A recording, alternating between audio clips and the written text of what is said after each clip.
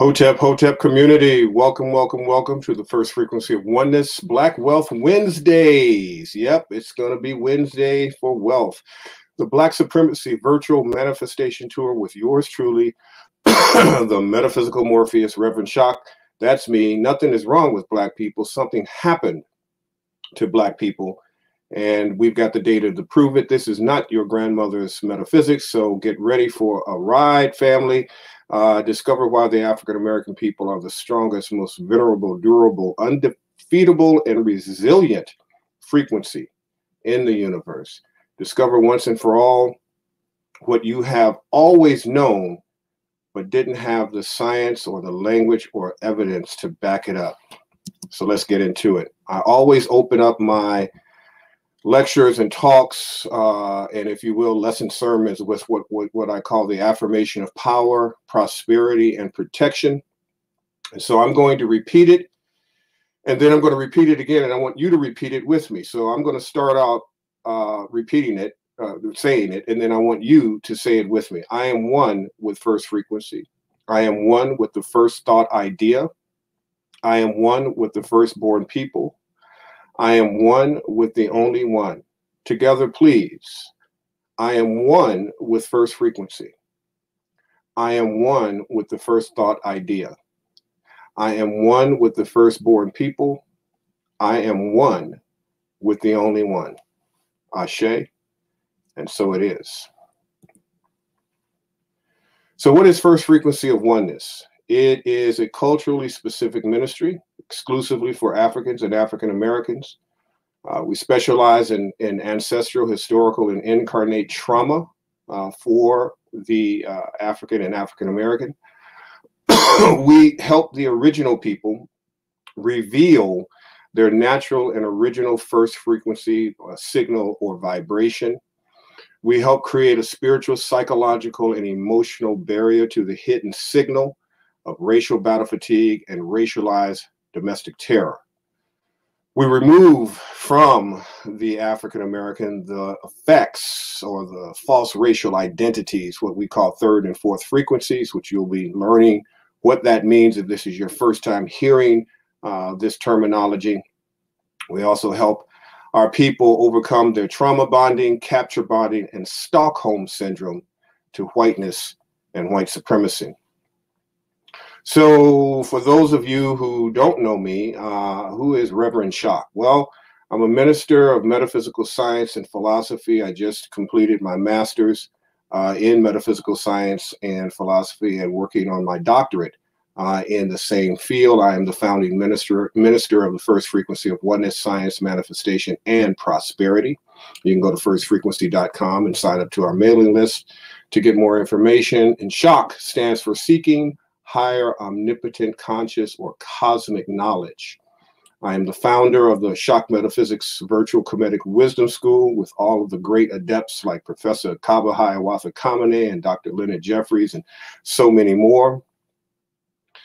And I'm also the host, that's how most of you know me, the host of the Philippe Matthews Show that's been going on for, I've, I've lost count how many years. I've authored over 17 books. And Kaba Hiawatha Kamene calls me the Marcus Garvey of our time and Mark Victor Hansen, uh, co-author of Chicken Soup for the Soul, refers to me as the Oprah of Internet. This series is dedicated to three of my spiritual mothers, Reverend Dr. Johnnie Colemon uh, at Christ Universal Temple in Chicago, where I started attending at age 10. Uh, I'm 55, so I'll be 55 in November. So I've been in it for a little bit of time. Uh, and uh, I, I, her her most famous quote, she's had so many, but one of her most famous, powerful manifestation quotes is that you are the thinker who thinks the thought that makes the thing. And also Dr. Reverend Dr. Helen Carey, uh, who I absolutely adore and love. And of course, Nana, Dr. Frances Cress Welsing. Ashe. This series marks the official launch of the first frequency of Oneness virtual uh, ministry. Uh, you will learn the same metaphysical mindsets and, and, methodologies I use to create an extra or an additional five figure uh, income for Professor Kaba. So remember this please have an open mind. and an open heart because some of you might be hearing things that you've never heard before. Uh, and I need you to have an African mind as opposed to uh, just a Black identity mind, if that makes sense. Uh, the thinking that got you here is not necessarily the thinking that could take you to where you want to go and need to become or want to become. So, who is this series for? Well, this is for anyone who is black, brown, broke, and woke. Some of you might know who I'm talking about. Uh, those people who are not economically prepared for this next new normal after this situation that we have been in in 2020. Uh, with COVID uh, and uh, the job loss, income loss, economic struggle. Now, imagine, understand, we uh, many of us have been struggling financially before COVID, so now we're really struggling financially, and so we need to figure out how to metaphysically and, fre- and become frequency specific uh, to wealth and prosperity. This is for anyone who has uh, previously been living paycheck to paycheck before COVID, and, and, and many of you who might have uh, a problem in your financial future moving forward. Uh, this is for those with an open mind to new ways of thinking and open to applying uh, the melanated knowledge uh, they already possess. Uh, those who sometimes feel complete overwhelm, helplessness, and hopelessness. Uh, it is my goal to to uh, keep that hope alive and bring back the hope, or should I say, get rid of the hope and give you the process of how. It's also for those who have completely uh, canceled uh, the negativity, uh, the negativity and psychological, spiritual, economic effects and frequency of poverty and struggle. So, if we want to really be a part of the cancel culture, I want you to cancel poverty. I want you to cancel financial struggle. This is the end of that, and this is the beginning of your wealth. Now, you cannot solve a problem with the same lower frequency that created the problem. We're going to go into that and help you understand what we are talking about when we're talking about frequency. And so, this uh, is the first lesson uh, of this series, and you're going to understand uh, quantum entanglement non-locality, the Akashic records, and the law of conservation. I got a few little extras in here for you as well.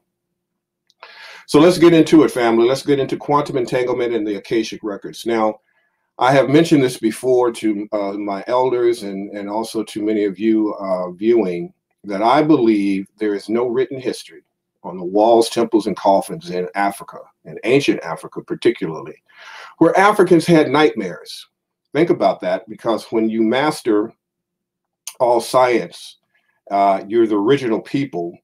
Uh, God chose you and created you first to be the best of the best and the best representation of the Creator. Why would you have nightmares? I believe nightmares did not start and occur until the Ma'afa, when we became entangled with what we call or refer to as second frequency or Amu uh, where their dreams, their dreams became our nightmares. And why do I feel, and why, why, why do you feel sometimes so overwhelmed, sometimes so helpless and hopeless? I believe it's because we are ancestrally entangled with the anti-African or the opposite of us, which is the second frequency Amu. Now, quantum physics shows us that two particles once connected remain so as entangled partners, even when they're removed from one another. John Stuart Bell, an Irish physicist, identified this phenomenon in the 60s and called it non locality. Um, we were once just entangled with each other uh, and our ancestors uh, in cosmic consciousness. But then something happened. something came out of the caves. We know that story if you understand and believe and, and, and know the Ice Age uh, theory that we became entangled with this second frequency Amu, and I call it the con. So we have two levels of consciousness that we're that that I want you to to understand. One level of consciousness is the consciousness before the conflict, which is what we're going to be teaching you how to tap into. And then, of course, when they came out of the caves, uh, there was a consciousness after the conflict. So there's a consciousness before the conflict and the consciousness after. So non-locality describes the apparent ability of objects to instantaneously know each other's uh, and each other's state, even when separated by large distances. Now, this is fascinating because the universe at large instantaneously arranges its particles in anticipation of future events. And what does that mean? It means that we've got this. We've always had this. This is just something we are going through and going through right now in our evolutionary time. We have been under this second frequency, Amu, for about 500 years. What we don't know, what some of us don't know, is that we have uh, kicked their uh, uh, second frequency uh, asses for thousands of years. We have been in power for thousands, tens of thousands of years. And so this 500 year is just a blip in the matrix uh, in what we call cosmic evolution.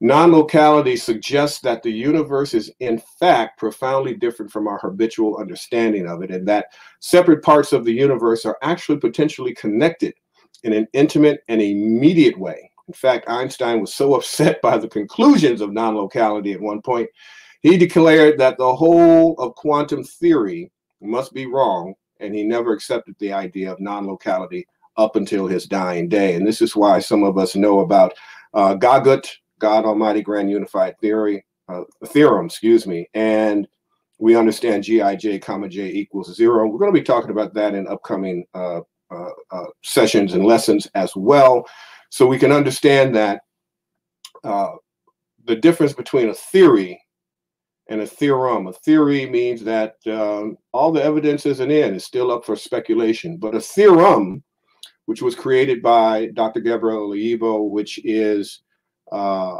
uh, an African uh, means that a theorem means that it's complete. And so, isn't it interesting? Isn't it fascinating? And doesn't it make sense that it would be an African that would solve this quantum physical uh, conundrum, if you will? Non locality occurs due to the phenomenon of entanglement, whereby particles that interact with each other become permanently correlated or dependent on each other's states and properties to the extent that they effectively lose their individuality and in many ways behave as a single entity. Now, this is a powerful understanding, and there is the link for you to go and do the research if you uh, so choose to do so, uh, where the uh, evidence is cited and documented. Um, many of us have taken on the mindset of the people of the ice. We are entangled with them. And so there are things that happen to us and that we do that we start to act like uh, the, the second frequency Amu.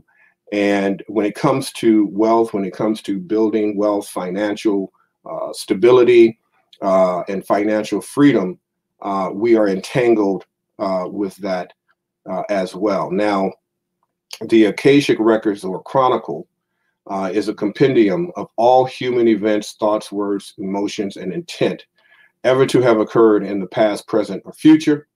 The Akashic Records is the quantum field where quantum entanglement and non locality takes place. The Akashic Records resides within the primordial waters of Nun. And there's a little meme and photo that down there for you to kind of get an idea. And some of you might be hearing this concept of the waters of Nun for the first time. The Akashic Records is also known as the law of conservation. In physics, conservation law states that a particular measurable property of uh, an isolated physical system does not change as the system evolves over time. What does that mean? It means that energy cannot be destroyed. It can only be transformed, transcended, or transmuted I wrote about this back in 2002 uh, in my book, The Shock Philosophy of Mindset for Massive Manifestation. That is, of course, available on Amazon, but we'll be quoting and doing a lot of work in that uh, from that uh, book as well. So let's talk about what I call the three levels of quantum entanglement memory. The first is our ancestral memory uh, or evolutionary and cosmic time. This is where your Akashic records and quantum entanglement, non locality, law of conservation reside. Uh, it is also uh, where it can be explained about the second frequency Amu from Dr. Edwin Nichols uh, coming out of the uh, caves from the uh, after the Würm glaciation or Ice Age, uh, which was 100,300 uh, years. Uh, and when we look at, uh, I think it's 25 uh, years as a generation, we're looking at the African going into the mountains of the Caucasus uh, for 44,123 generations to produce what we now refer to as the second frequency Amu and the African, uh, the anti-African, if you will. And within that ancestral memory is also where our Black Holocaust occurred, which is the Ma'afa. And so we're entangled with that. Now, the next level is what's called genetic memory, which is best known or popularized by the term epigenetics. That holds our historical time. Now, Dr. Jacqueline Battalora, who's been on my show several, several times, uh, teaches us that uh, the anti-miscegenation law uh, between 1664 and 1681 uh, on this continent, on uh, United States of America, created the invention of white people. Uh, there is no history book that refers to the European as white. White is American made, and it was made to divide and conquer humanity. Now, uh, if you remember my many interviews, or if you've ever watched my interviews with Battalora, um, there are three laws that came down in anti-miscegenation that brought you and I together today. And the first law is that a person of African descent could not uh, vote or run for office.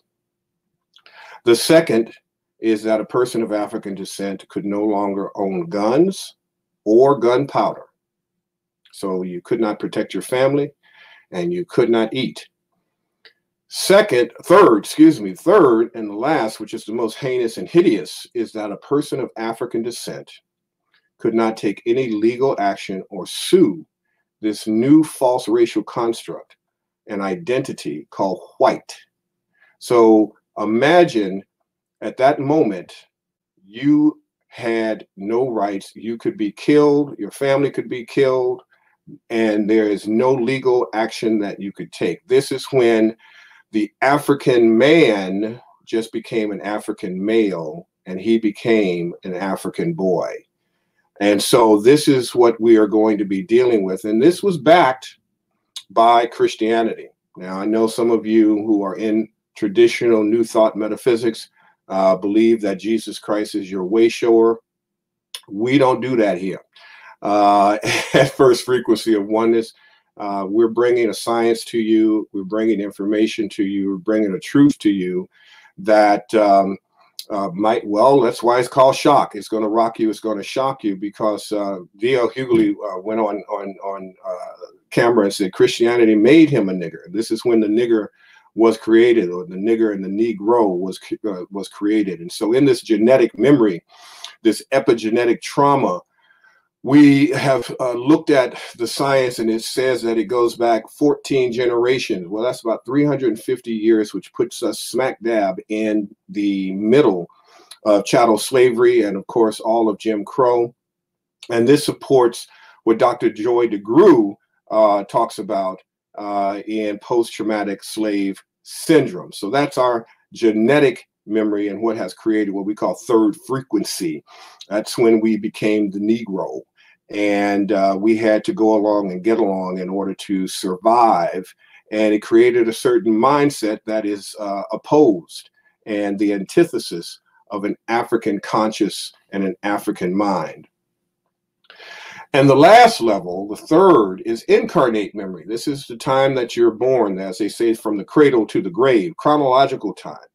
Now, in that chronological time, again, I'm, you know, I'm, I'm speaking to people who are uh, have been here for for a period of time. I, I came on the scene in 1965.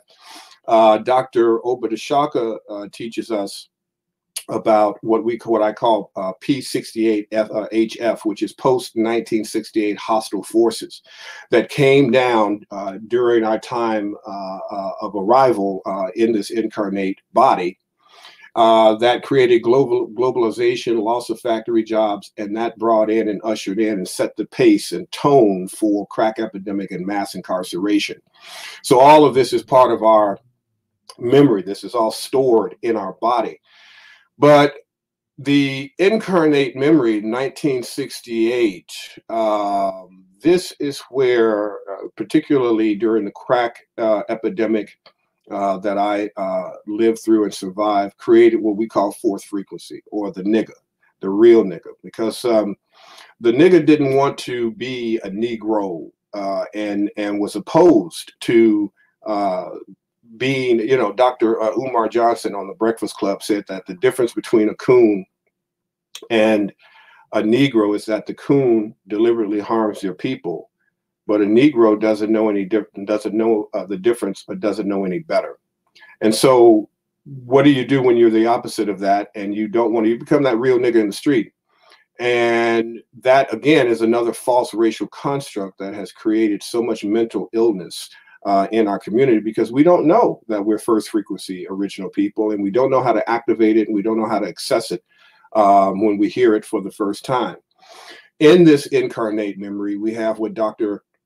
Nzinga Dalila refers to as race-based traumatic stress injury and violence. This is what we have been subjected to that creates the hidden signal known as racial battle fatigue or micro and macro aggressions, which of course was um, summed up and, and peer reviewed uh, by Dr. William A. Smith and uh, Dr. Tommy J. Curry talks about this in The Man Not uh, and what has created what's called black male misandry or hatred toward black men, toxic masculinity, and what we also refer to as anti-blackness. Now, as I mentioned earlier, Christianity was a very integral part uh, of the creation of white people and whiteness and white privilege and white fragility and all of those wonderful things that we uh, all those acronyms and things and terminologies that we have come to to know.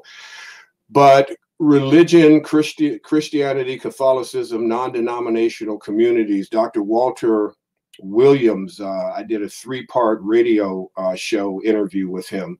And he says there has never been a man that has ever walked the, uh, the earth in human form of any race creed or color by the name of Jesus Christ. Now, I know that's a shock to some of you hearing that for the first time, but we have the evidence to be able to prove that and to talk about that. And that's going to be uh, manifested and, and, happening in upcoming um, uh, uh, talks. So think about this image when you see this. This is from the documentary The American Lows by Darnley Hodge. Hotep uh, God, hope you're watching. Uh, love your movie. I can't wait to have you come back on and talk about it. Uh, but think about that. Here is a, a beautiful black goddess uh, that uh, has a photo of uh, a white Jesus Christ on the wall. So just think about what that does in terms of quantum entanglement and, no, and, and lo, non-locality. So let's talk about entanglement with the second frequency and what that has done. It has made us afraid of the dark uh, or afraid of blackness, which is where we all come from, and it is our original frequency. Now, dark energy, uh, Dr. Uh, Neil deGrasse Tyson says dark matter and dark energy are two things we measure in the universe that are making things happen and we have no idea what what the cause is. Well, we know what the cause is. That's the creator being creative. Uh, quantum entanglement with second frequency Amu causes us to relive their ancestral and genetic night terrors or nightmares. It's just that simple. We we the nightmares and night terrors that we have come from a memory, uh, from an ancestral memory, from our incarnate memory, and from our genetic memory. We come from carbon, which is black, dark matter. Dr. Sebi talks about that all the time. Before you can talk about melanin, you have to talk about carbon. So outer space is dark matter and dark energy. Dark matter and dark energy is faster than the speed of light because in order to see light, darkness must already be present. Think about that. In order to see light, darkness must already be present. We are the original people. We we come from the black. That's why this second frequency Amu has taught us, has bred in us how to be afraid of the dark, which means that we are afraid of ourselves. So don't be afraid of the dark. Being taught to be afraid of the dark or darkness is the underlying energy that that produced third frequency colorism and self-hate and anti-blackness. Be cautious of the light, which illustrates the illusion of the matrix. It's a false projection. When they say, oh, go towards the light and bring in the light. No, you bring in the dark because that's where you manifest. And then it's shown in the light. So if you are going after the light and just looking at the light, you're looking at the after effect, not the cause. Hopefully that makes sense. So you're looking at when you look at the light and go towards the light, you're looking at the effect, not the cause. And you cannot heal an effect with another effect. You cannot change an effect with another effect. You have to change it from the cause. So when we look at this understanding of darkness, is the energy of the womb of your mother. Your shadow, actually, uh, is atomic energy. Darkness and mastering atomic energy is how the Dogon map the stars and the universe. There's a diagram to understand what we're talking about. So uh, love this, uh, love, love, love Ashira Star Goddess, Hotep Goddess, uh, wherever you are. Shout out to you. In her book, she says darkness doesn't mean evil; it just means the absence of light. And so, light was created from darkness. Therefore, dark energy is the first energy and the highest energy. It's first frequency. The universe is expanding and accelerating and dark energy and dark matter are two contributors. Uh, dark energy creates time and space. Uh, dark matter holds galaxies together and apart uh, so that they don't crash into one another. And when you embrace dark energy, you can influence the light because light was created out of the darkness. Now, I know this is new to some of you, but some of you are shaking your heads right now saying, This makes sense. Uh, now, I can't see your quotes in your chat right now because I'm in the uh, PowerPoint and I'm full screen. So, I so if any of this is making sense to you, just put some ones uh, in the chat uh, as you're as you as you're going through this and listening to this. Dark energy is hidden between each particle and molecule that makes up our bodies and everything that we see. Between each cell, there's an unknown and unperceived space, which is called dark energy and dark matter. Um, the movie and the book, The Secret, teaches you how to be a master of the matrix or hologram, which is using the light, because using the secret and using the secret, you become a master of light, which is becoming a master of illusion, something false. That's why you, whatever you might have attracted using the uh, uh, uh, manifestation tools and techniques of the secret, uh, it didn't stick. You might have acquired something, but you weren't able to sustain it. And that is because you didn't understand as an African uh, and an African American how to manifest using dark energy. You were trying to create an effect with an effect. Uh, Shira Star Goddess, uh, go out and get her book, How to Manifest with Dark Energy Beyond the Law of Attraction and the Secret. It is absolutely phenomenal. The light is anything that you can see, anything that is visible is only 4% of the entire universe. Think about that. Only 4%. That's why energy can change, right? Nothing, you know, the energy can only be tra- uh, transformed, transmuted, transcended. The law of conservation, it's only 4%. Dark energy is feminine energy. It's the female that gives birth. 96% of the universe is made of darkness, dark matter, and dark energy. We all come from the dark, empty spaces of our mother's uterus, which is the cosmic womb family. So understand when manifesting with dark energy, you create what you want mentally in the ether, and that energy pulls into your experience. You create what you want in the darkness and send it to yourself on earth. As above, so below. As within, so without. You've got to go out of this. I love this quote. You've got to go out of this world to create out of this world results. Again, it, get that book, How to Manifest with Dark Energy, uh, by Ashira Star Goddess. All right, now when the creator created you, it gave you a unique signal. That's what we call first frequency, first idea, the first thought. First means first, and that means something. And as we go back in our history, when we go and we start to uh, look at uh, who we are and and and what we have contributed, we go back to the beginning, whereby the Creator says, "You know what? I want to experience myself in organic form."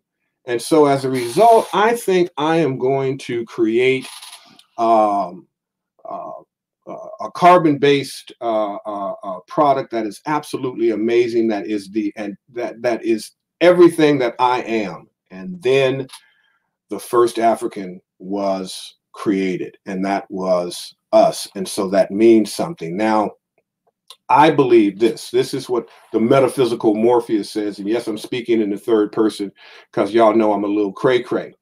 Uh, the reason the community refers to me as the metaphysical Morpheus is because uh, it is my, I feel, it's, I feel it's my cosmic assignment to unlock Africans and African Americans from the matrix. The matrix is quantum entanglement, uh, simply put. Uh, and we are entangled, ensnared, and caught in second frequency quantum web of racialized uh, domestic terror.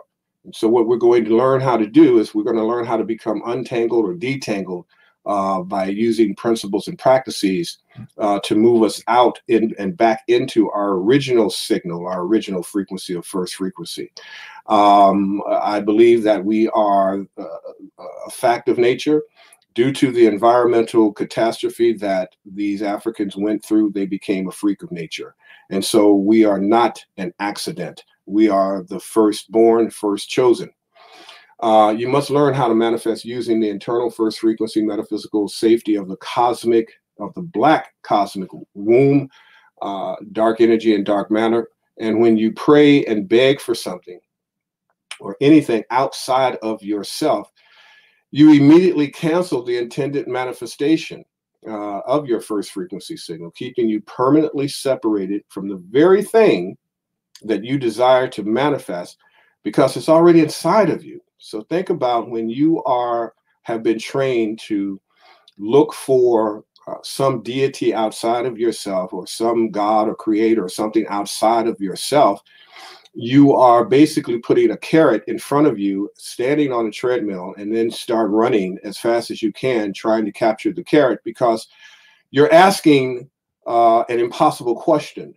Uh, you're begging for something that you have the ability inside of you to manifest. This is what Johnnie Colemon meant when she says, You are the thinker who thinks the thought that makes the thing. Dr. Walter uh, Williams says that praying is a form of begging. It's a waste of time. So we're going to learn how to uh, uh, manifest, uh, many of us, or many of you, I should say, for the first time.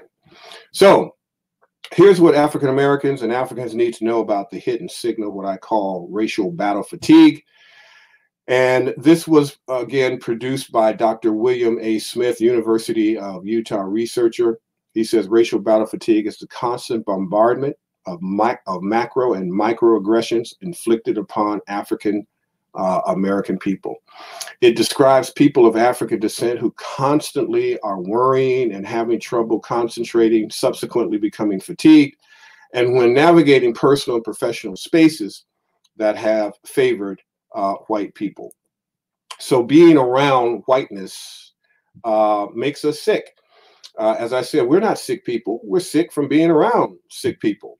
And so these are the actual symptoms that Dr. William uh, uh A. Smith uh, found uh, and produced through his uh, peer reviewed research.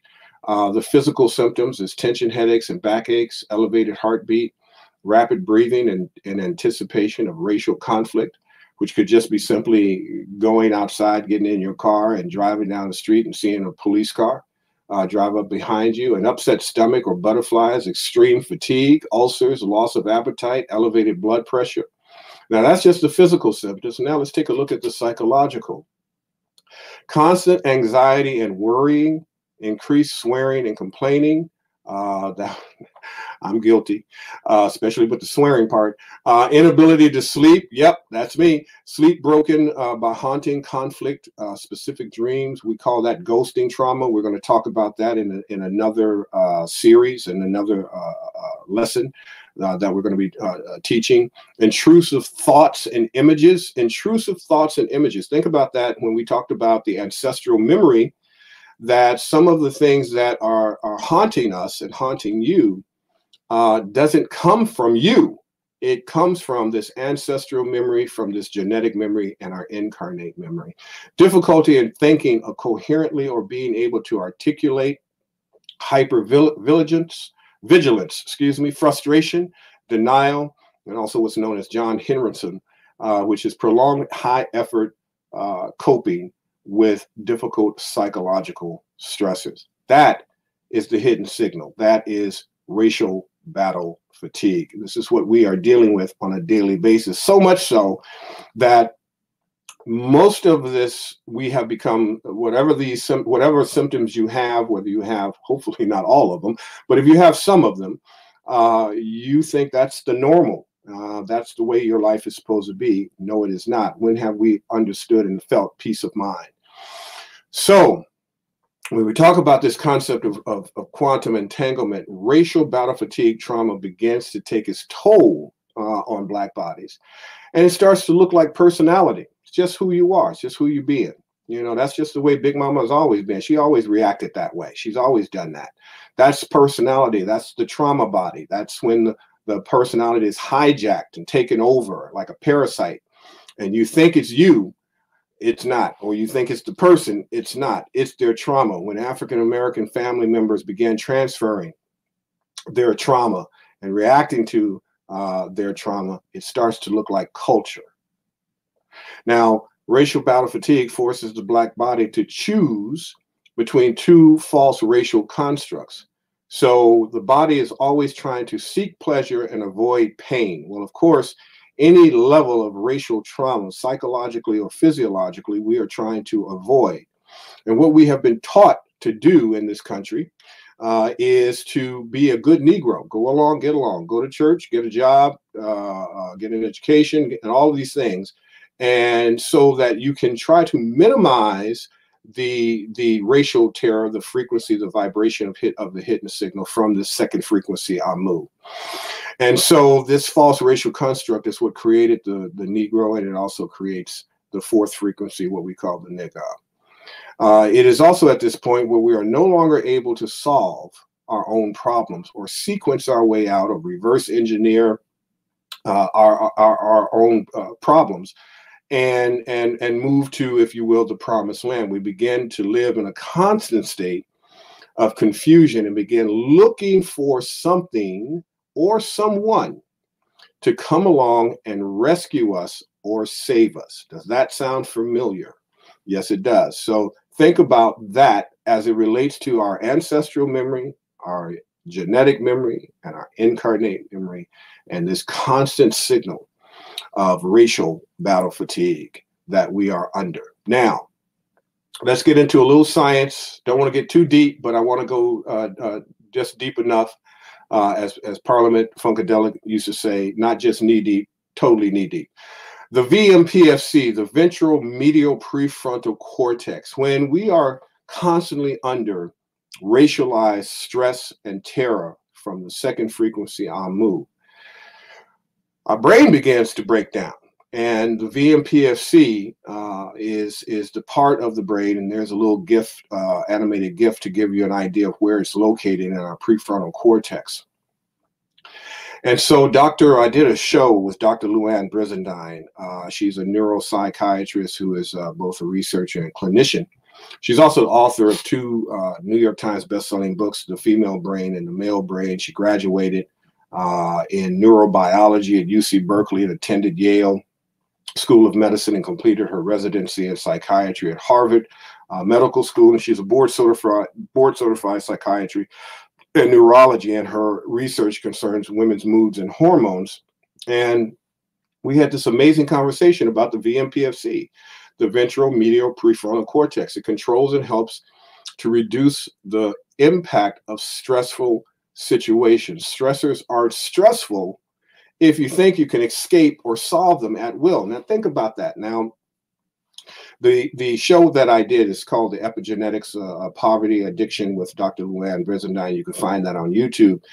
Um, when you are constantly being bombarded by racialized stress, uh, that you keep uh, going through levels of betrayal, rejection, and abandonment of your dreams, of your goals, of your aspirations. Everywhere you go, every every there's a wall, every door is closed that starts to create a stress where you no longer feel you are in control of your life. You're no longer in control of your situation. And that's when the brain begins to break down. And so, uh, to give you an example, that's why it would make sense for uh, uh, a young woman to say, you know what, I think I need to go and have another baby so I can get more welfare money. Now, that is a concept that is in the community, but that concept comes from not being in control, feeling in control of your life. And that comes from your VMPFC being completely hijacked and compromised because the stress of racism is so overwhelming. The brain goes into cortical shutdown and you stop being able to uh, control your life, to do anything about it. And at that point, that's when you give up uh, and you start to act up and act out. And that's when you probably are looking for something outside of yourself to come save you and rescue you. So when the VMPFC breaks down, this is how we learn how to be poor and financially struggle. This is a learned behavior. Financial struggle and poverty is not a natural occurrence uh, in nature. It is learned. It is taught to us at birth, if not before birth. So I want us to really understand that and that we feel we're in a fog and we can't think straight. We can't get past go. And so we procrastinate and we say we're going to get to it and we never do. We can't critically think. Our emotional quotient or intelligence begins to lower, which we're going to talk about in a moment and we began having these multiple levels of, of confusion and uh, and what happens is is that starts to look like mental illness right? Oh the black community is mentally ill. No we're not mentally ill. We're mentally ill from being captured corralled and controlled by mentally ill people. Ain't nothing wrong with black people. Something's happening to black people. So let's keep that in mind family.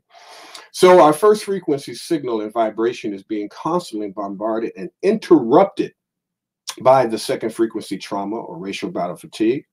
Uh, par- uh, poverty and financial struggle is a form of domestic economic terrorism. And so we need to label that, we need to rename that and understand if you are struggling financially, uh, have ever struggled financially, if you're going through any level of poverty, uh, uh, in your life, that is an act of terrorism because it is not natural and it is not normal and it is not of the creator and it is not of your first frequency. Poverty and financial struggle is not a natural occurrence in first frequency African nature.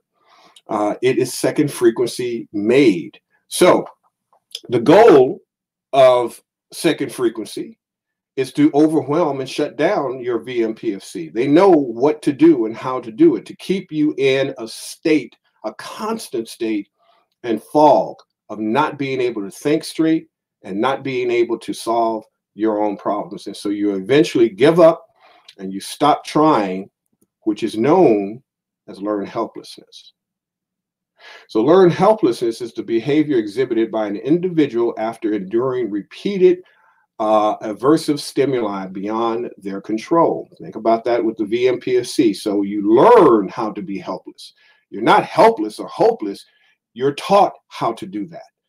And so learned helplessness is related to the concept of self-efficacy, where the individual's belief in their innate ability to achieve goals uh, begins to become diminished this uh, and, and, and it becomes uh, part of our clinical depression and when you go back to that phys- uh, physi- uh, physiological and psychological uh, uh, aspect of racial battle fatigue, we start to take on all of those symptoms and understand what learned helplessness is. Now, when we learn how to be helpless, the VMPFC has completely shut down due to this constant bombardment of racial battle fatigue, race based traumatic stress injury and violence by Dr. Nzinga we then move into a state where we start to believe in superstition, myth, and exaggeration. Uh, and these are opinions and beliefs that are not supported by factual knowledge. Now, there's a great book that I had uh, read years ago, and I actually inter- interviewed and met Dr. Stephen J. Krauss. And he says in that book Random reinforcement can lead to superstitious behavior because incorrect theories about why things happen sometimes lead us astray. In other words, superstitious behavior occurs when we don't understand the true cause of our actions and our outcomes. Now, I was watching Reverend Dr. Ray Hagins, uh, watching an old sermon of his, and the sermon was uh, entitled Superstition. And he opened the uh, sermon up with playing Stevie Wonder's Superstition. And the lyric of superstition is when you believe in something that you do not understand and you suffer, superstition ain't the way. So, what is it now that when you are dealing with people who have uh, a hijacked uh, VMPFC, ventral medial prefrontal cortex, that have been stressed to the point where they're now believing in fairy tales and what Dr. Uh, Obadele Kambon uh, refers to uh, as this white boy on a stick. Now, think about what happens when you have been beat down psychologically, sociologically, so long, even at birth, that you come into this incarnate, you come into life believing in superstition and myth. And that leads us to a foundational level learning number three, and the primary the three primary levels of manifestation that we're going to go into. Tepeseb critical thinking and emotional intelligence. So tepeseb tepeseb uh, uh, if you know the story if you watch my show uh, uh comes from uh, brother uh, kaba Hiawatha Kamene, the accurately reckoning by using the correct method. This is what first frequency African minds and African brains um, we're able to do and, and we are still able to access and do that. It allows us to do our primary research reverse engineer and do due diligence. And that's the uh, the medu neter or the uh, glyphs if you will for tep haseb and so the story goes uh, with with Professor Kaba. He was coming out of a store and he ran into Brother Reggie Mabry, Hotep to the God Reggie Mabry, and Reggie said, "Hey man," while he was writing his book Spirituality Before Religions, he says, "Hey man, do you know about Tepeseb?" He says, "No, I don't." See, go go go check it out. And so he did and started doing the research and discovered that uh, this is what the African mind uh, does. This is how we uh, were able to build pyramids and civilization and master all science.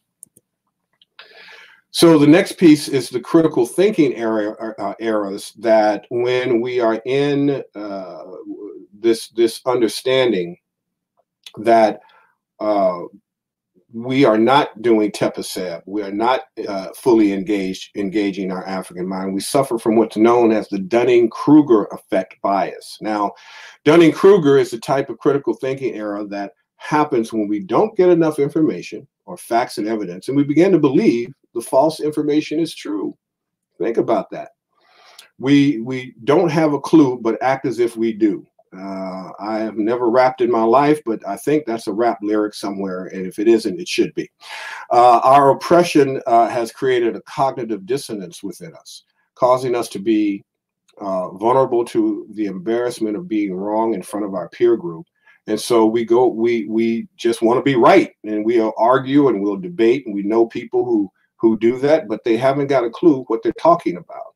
Uh, and so we debate and fight to be right, which leads us to what's known as the backfire effect bias. And the backfire effect bias is fascinating because it creates a blind spot. It's impenetrable. Uh, it's when you are presented with a preponderance of overwhelming evidence, and the backfire effect bias causes a cortical shutdown.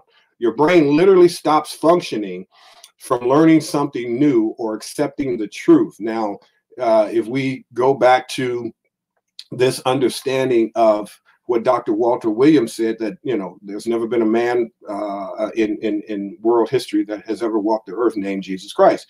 Well, that's that that depending upon your indoctrination, depending upon how uh, you were, how and where you were born, uh, you might have a backfire effect with that. That that that's something that you just cannot accept because it creates a level of fear that says, wait a minute, if there's no Jesus, then what what that now you're in the driver's seat and you're in control. But if you're not in control because of your VMPFC, this is where that co- cognitive dissonance begins to manifest. Uh, and this is why some people probably at this point turns off the uh, PowerPoint uh, or the video and say, "I can't take it; it's overwhelming." Because of the backfire effect, the brain has literally shut down because it can't handle the truth. And we've all gone. I went through this. I, it took me a moment to realize, okay, something here is not right, and I had to be open-minded enough, like I talked about in the beginning of this of this lesson sermon, that we have to have an open mind so that we can find the truth.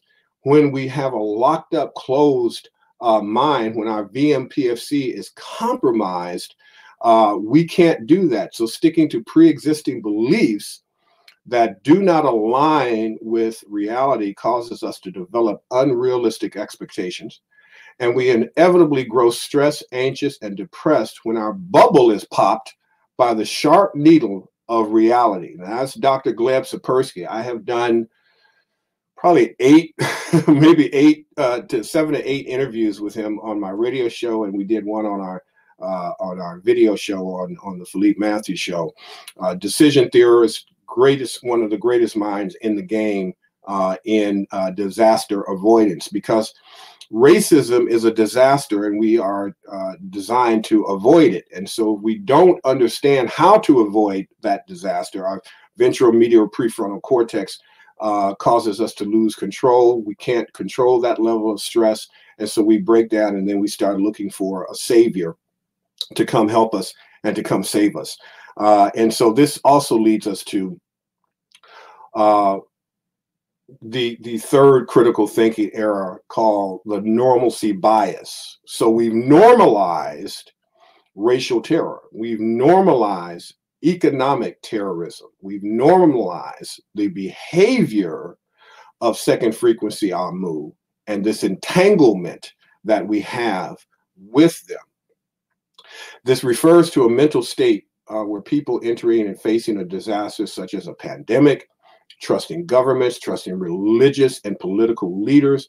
It causes us to underestimate the possibility of disaster occurring and its possible effects. So I really want you to, to be with this as I'm presenting it uh, because uh, uh it, uh, nothing's wrong with you. Something happened to you, and that signal is still happening to you.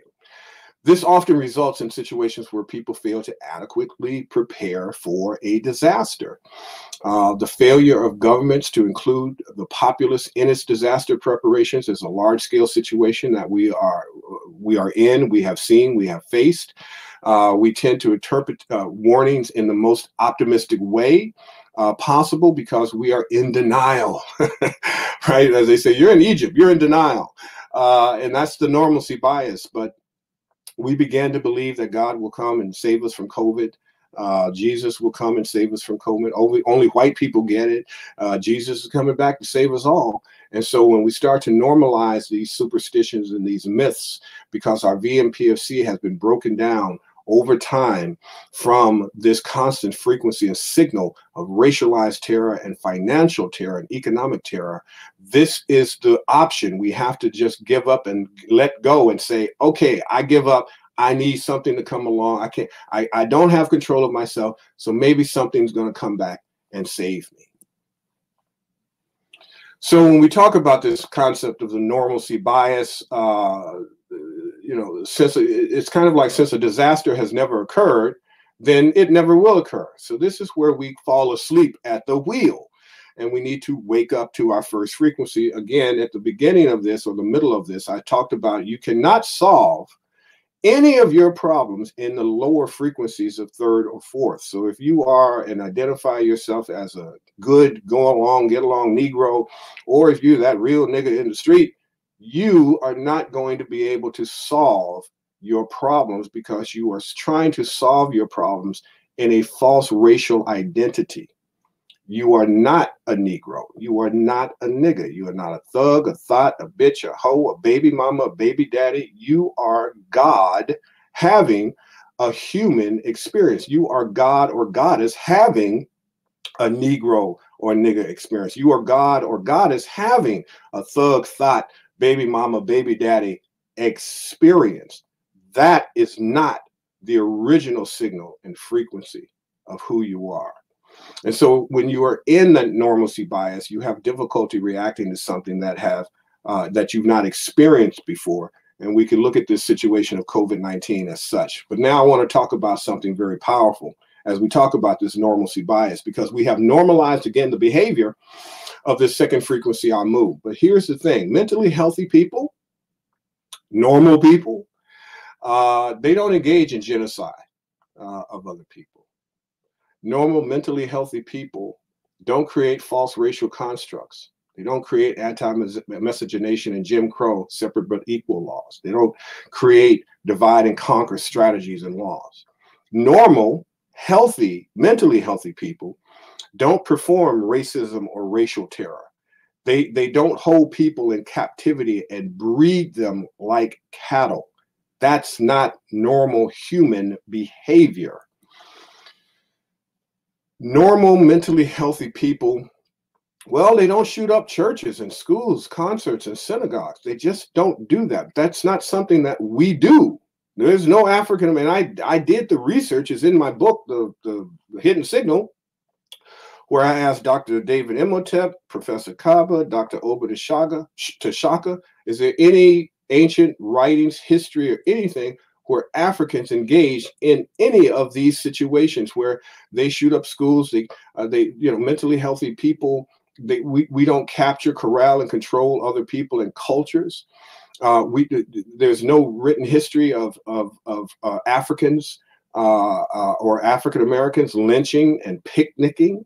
We don't do that uh, we are mentally healthy. We are uh, we're not sick. We're sick from being around sick people, and and we of course don't fight against normal and mentally healthy people. Don't fight against equality.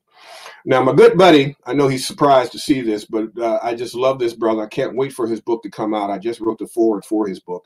Uh, his book is called The uh, Well Dressed Lie Following the Breadcrumbs to an Uncomfortable Truth. Brother Sean Parker says, on every continent of the of the known world, archaeologists have found black African presence, but none of it entails slavery, bloodshed, rape, or savagery. You see, they try to make you believe, again, part of this is breaking down your VMPFC. Oh, it's called black on black crime. No, there's no such thing as black on black crime. There's white on white crime and white on black crime, but there ain't no damn such thing as black on black crime. Nothing is wrong with you. We are not responsible for what has happened to us, but we are accountable for what we do about it. So the last piece, the third piece in these three levels of manifestation is the emotional quotient or emotional intelligence. I have met people, and I'm sure you have too, that have been highly educated, have a high IQ, but they emotionally act like a child or a teenager. And they suffer from what Dr. Joy DeGruy refers to as vacant esteem, which we're going to talk about in a moment. And that vacant esteem is due to a damaged VMPFC. Uh, we have a difficult time being responsive to our situation versus being reactive to our situation. We have this hypervigilance and this PTSD uh, reaction to our environment. Low emotional intelligence is also responsible for what psychologists refer to as arrested development. It's when you don't fully develop and that development is arrested. Something happened to you. Uh, it could be frequently, it could be one event, it could be multiple events as it relates to the African and African American that causes our development to become arrested. And so we, uh, as they say, we uh, don't uh, uh, we don't really grow up. We just get bigger. Uh, therefore, we must decrease, decrease our PTSD or post traumatic stress disorder uh, and reactions to what we call PT, what Dr. Joy DeGruy refers to as PTSS or post traumatic slave syndrome. That creates vacant esteem. Now, vacant esteem is fascinating to me because I am on this list. when I was going through my nigga experience, my fourth frequency experience, because I didn't want to be a Negro, uh, third frequency, and I didn't know that I was a first frequency uh, uh, God having a, uh, uh, a third and fourth frequency experience. I suffered from vacant esteem. And, and, and Dr. Joy DeGruy refers to this as insufficient development of primary esteem. So think about if you have uh, low self esteem, is still a sense of self, right? Because it's self esteem. So it just happens to be low self esteem. But what happens when the esteem is vacant? There is no sense of self.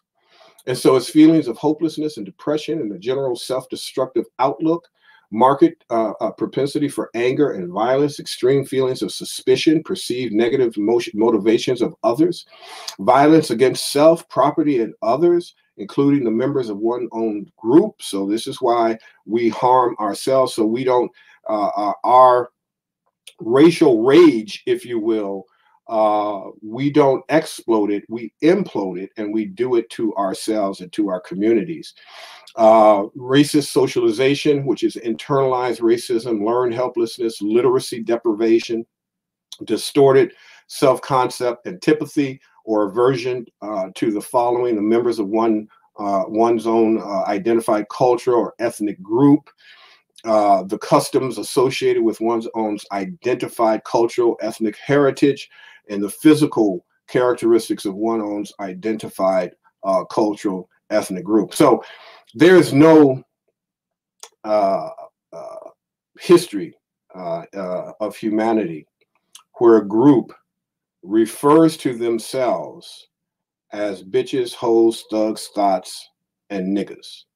We are the only ones that do that. And that is a direct response and understanding of what vacant esteem from this constant entangled non-locality bombardment of racial battle fatigue under uh, this this whiteness under this oppression that we are born into that we come here with our ancestral memory and genetic memory.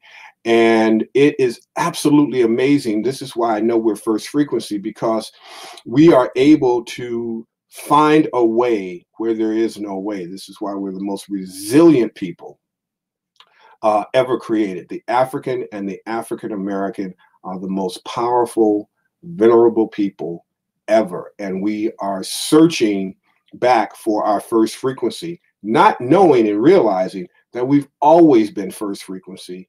But because we have been taught We've learned how to be helpless. We have been taught how to be either a good go along Negro or that nigga in the street doing whatever you have to do and doing the dirt that you have to do in order to survive. That is a treadmill that we don't get off of. It has created that vacant esteem. And so we're not able to solve our own problems. This is why this ministry is dedicated to teaching you how to manifest, but you have to first know what the hell happened to you right? If I say that nothing is wrong with you, something happened to you, I have to be able to qualify that and quantify that, which is what we're doing. So we're not sick people. We're sick from being around sick people. There's a thing, my, my, my some of you know my I talk about my goddess on the show. She was a nurse. She graduated magna cum laude in nursing school, and and uh, she taught me about this concept called secondary syndrome. You can look it up, Google it. Secondary syndrome is when medical students start to come down with the symptoms of the diseases that they're studying because they've studied it so hard, so long, they've internalized it. And so they literally start coming down with the symptoms of the diseases that they are uh, uh, learning how to uh, solve. Think about that. So they become sick from being around sickness and from studying and learning sickness. So when we look at what racial battle fatigue really means, is that we're not sick people. We're sick from being around sick people. We're not mentally, uh, uh, we don't have mental illness. We're mentally ill from being around mentally ill people that have normalized or attempted to normalize their behavior and actions and make us think that that is just a human trait. Humans do not do what has been done to the first frequency African, period. End of story. So we need immediate solutions. I call it KESI, quantum entanglement signal interruption.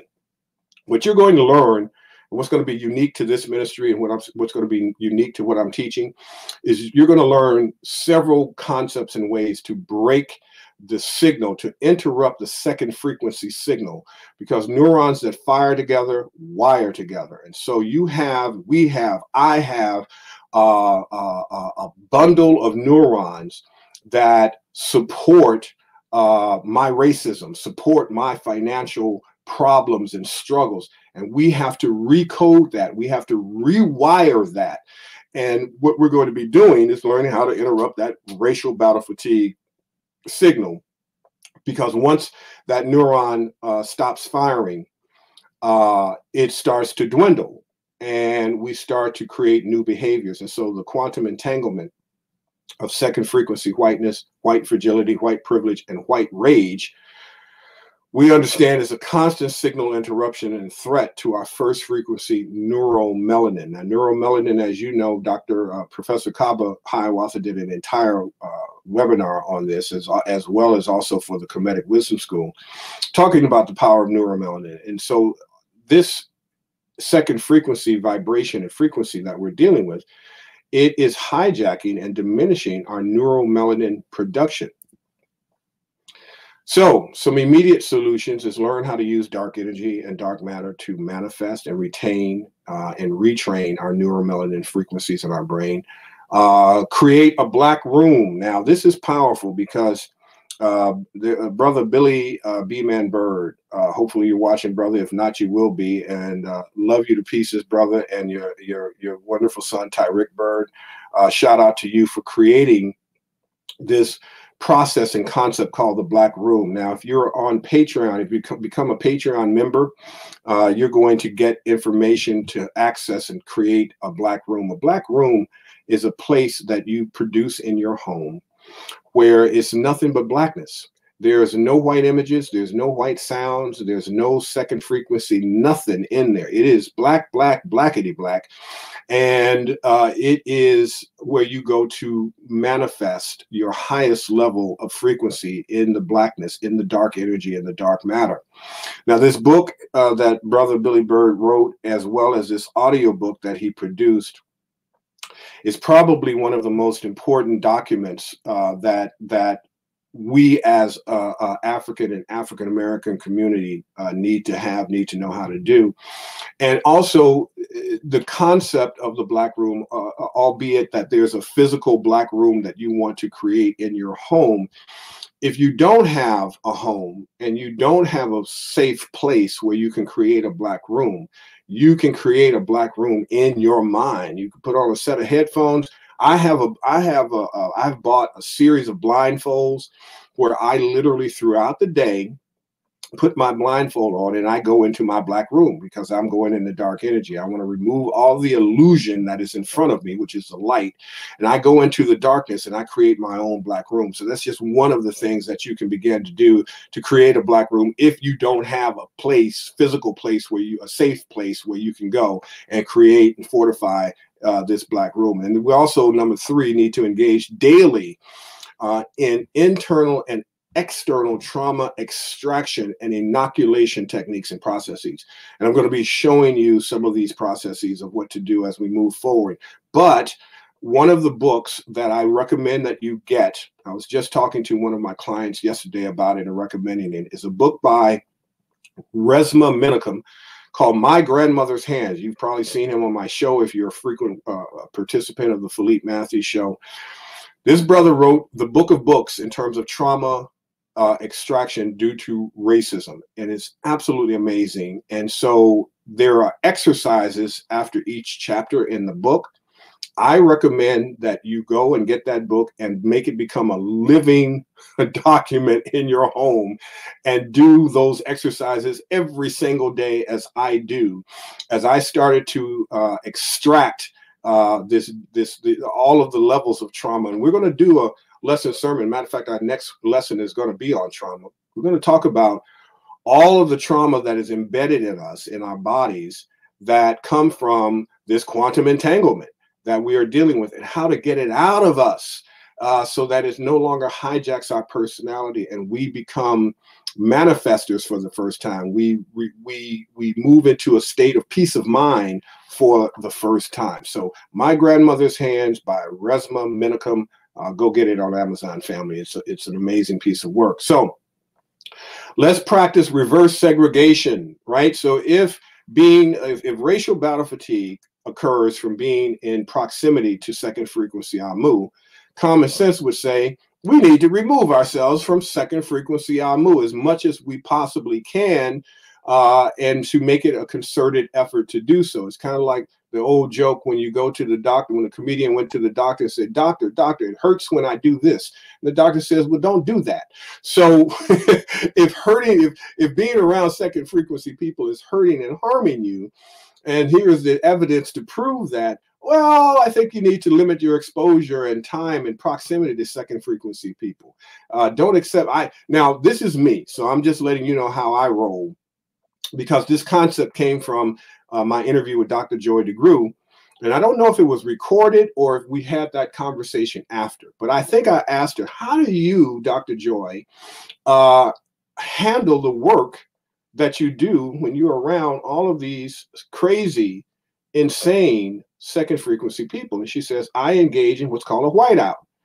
And I wrote about this in my uh, book, uh, the the uh, hidden signal, where she talks about how she goes on a boat in the middle of the lake and she fishes for sometimes days and weeks and she has no interaction with second frequency Amu. So that's her whiteout is just getting away from the proximity of them. Now I have taken it a step further. I don't accept gifts from them, money or financial help of any kind from second frequency Amu. Uh, I don't accept resources and introductions from them so that they don't in, uh, try to infiltrate into my space, into my life, into my dominant first frequency. Uh, I reduce uh, my exposure to second frequency media, uh, uh, radio, social media, television, movies. It's so funny and so fascinating because I have created such a blackness in my life, such a first frequency in my life uh, that when I do have to sometimes sit down with my goddess and maybe watch a show with her or something, I have a difficult time watching television because I don't see enough of, of, of, of first frequency people on it. And I have a difficult time with that. It's absolutely uh, fascinating when you start to remove yourself from the signal, from the virus, from the trauma. Uh, it's kind of like um, if you if, if you know anyone who maybe stopped smoking and when they stop smoking they can no longer stand to be around people who smoke cigarettes they can't stand the smell anymore. It's kind of like that. And so this is why we have to understand how to heal ourselves because we're not sick. We're sick from being around sickness. And so we have to remove ourselves from that sick signal and then we begin to naturally heal. And also we can't fall prey to the second frequency cries for rescue, sympathy, and empathy, or Becky Tears. We have been conditioned to serve uh, second frequency Amu. We have to stop doing that and stop coming to the aid and rescue. Uh, I've had uh, uh a second frequency come up to me and say, Hey, can you help me be uh, uh, less racist? Can you help me with my whiteness? No, I cannot. That is not my job, not my assignment, not something that I am qualified and competent to do. Some people said, Well, Philippe, well, Rev, you know, this is, you know, this is for everybody. It's like, no, this ain't for everybody. This is strictly for us, by us, for Africans and African Americans. My work is exclusively for my people. I have been uh, uh, a, a first frequency African for 55 years. It's what I know, it's all I know. And it is my assignment to help my people unlock what they already have inside of them. And I am not here to save the people who have uh, enslaved us. It's just not something that I am uh, willing to do. So, second frequency people, they want to matter. They want to control your life, uh, and and and you have to deny that level of so- sociopathic access. And so, this is very very important when we start to detangle from this quantum web of entanglement that we're talking about. All right, so winding it down, practice frequency specificity. We did this in the beginning, but this is something that I want you to begin to do. Um, when you become a Patreon member, you will be able to get access to this affirmation of prosperity and power and protection. I want you to do it seven times daily, as I do and seven days. So every single day, I repeat seven times a day this affirmation, and it's very, very powerful. And so let's go through it and do it again. I am one with first frequency. I am one with the first thought idea. I am one with the firstborn people. I am one with the only one. Ashe, and so it is. So do not follow the frequency, the second frequency that labeled you.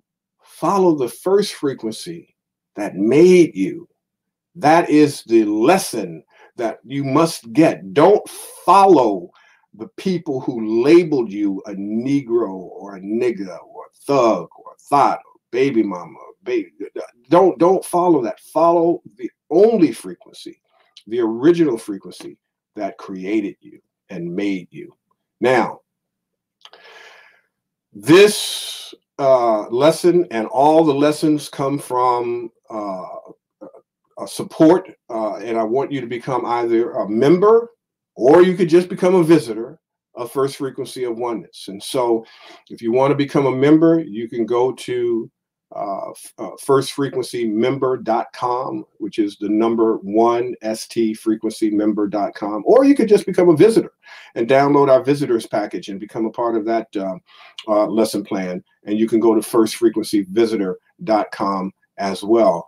Or if you really want to get information that I'm not sharing with on any other platform, but to my Patreons, and I love all of you. Thank you so much for becoming patrons uh, that that you can go to patreon.com uh, forward slash uh, Rev Shock. And so, that being said, again, uh, you can check out our visitors package, firstfrequencyvisitor.com, uh, or you can become a member and go to firstfrequencymember.com. And I absolutely uh, adore all of you. Love you so much, family. Ankh Udja Seneb life, prosperity, and health. Ashe, and so it is.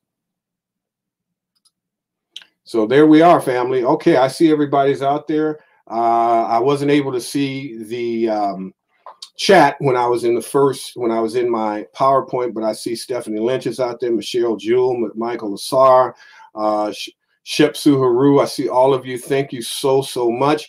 Uh, this has been the first official launch uh, of uh, First Frequency of Oneness. I hope that you learned something. I hope you are moving forward. I hope you understand now the power of your first frequency. I hope you understand that nothing, nothing is wrong with you, but a lot of ish has happened to you.